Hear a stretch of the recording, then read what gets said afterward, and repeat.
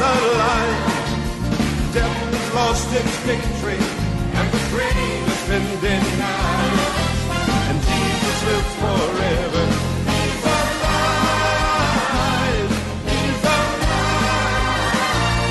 He's the Alpha and Omega. The first and last He's seen Oh, the curse of sin is broken,